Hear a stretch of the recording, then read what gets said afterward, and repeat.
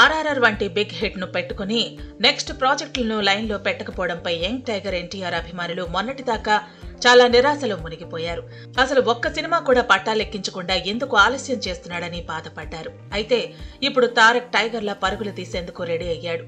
ఇప్పటిదాకా వచ్చిన గ్యాప్ను ఒక్క దెబ్బతో పూరించేందుకు సన్నాహాలు చేసుకుంటున్నాడు. మామూలుగా రాజమౌళితో ఒక సినిమా చేస్తే ఆయనతో చేసిన హీరో నెక్స్ట్ ప్రాజెక్ట్ ఫ్లాప్ అవుతుందనే టాక్ ఉంది. అలాంటి బ్యాడ్ సెంటిమెంట్ను బ్రేక్ చేసేందుకే ఎన్టీఆర్ ఇలా ఆచితూచి అడుగులు వేస్తున్నట్టుగా తెలుస్తోంది.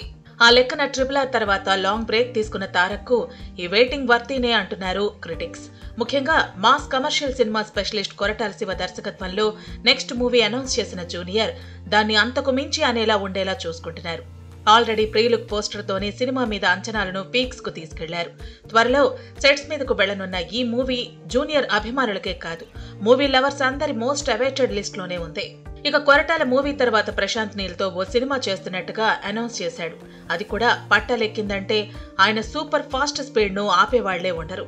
ఒకవేళ ప్రశాంత్ నీల్ ప్రాజెక్ట్ డిలే అయితే ఇమీడియట్గా త్రివిక్రమ్ను బరిలో దించేందుకు ప్లాన్ చేస్తున్నాడు. ఎన్టీఆర్ఏ కాదు రామ్ చరణ్ సైతం ఇలాంటి ప్లాన్లోనే ఉన్నాడు. అటు శంకర్తో ఓ మూవీని చేస్తున్న ఆయన ఆ తర్వాత ఉప్పెన ఫేమ్ బుచ్చిబాబుతో మరో మూవీ ప్లాన్ చేసుకున్నాడు. ఇలా ఇద్దరు హీరోలు రాజమౌళి బ్యాడ్ సెంటిమెంట్ తమపై పడకుండా చాలా కేరింగ్గా ప్లాన్ చేసుకుంటున్నారు. చూడాలి మరి వీరి ప్రయత్నాలు ఎంతవరకు సక్సెస్ అవుతాయో.